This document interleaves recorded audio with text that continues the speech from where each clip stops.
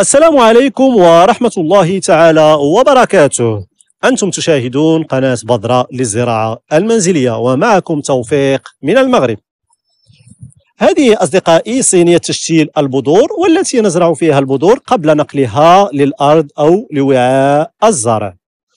ولأن هدفنا الأول في القناة هو تبسيط الزراعة المنزلية للمبتدئين وشرحها بأسهل الطرق.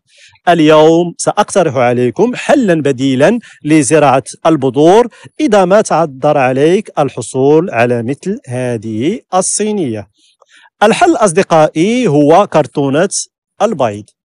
آه، حيث يمكن زراعة كل البذور التي لا تزرع مباشرة في الأرض وتتطلب أولا الزراعة في آه، مثل كما قلنا هذه الصينيات ثم عندما تصبح شتلة ننقلها للأرض.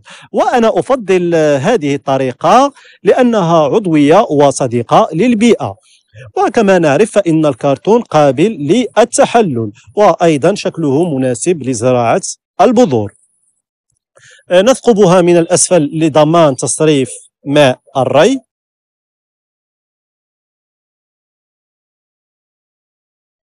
ونملأها بتربة زراعية خفيفة.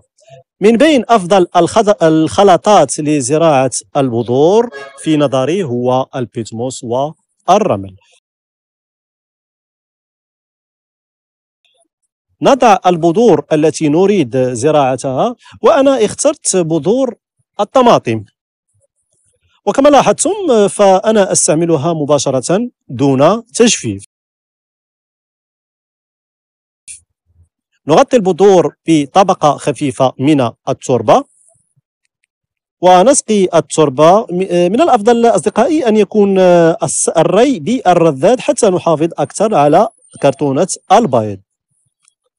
بعد ذلك نضعها في مكان لا تصله الشمس مباشرة ونحافظ على رطوبة التربة. وهكذا أصدقائي بعد أيام ستنبو البذور كما تشاهدون على شاشتكم والآن يمكن أن ننقلها لمكان الزرع النهائي. إذا أعزائي وكما قلت هدفنا الأول في قناة بدرة هو تحبيب وتسهيل الزراعة المنزلية للمبتدئين وتحفيزهم على ممارسة أجمل هواية في العالم. دمتم سالمين.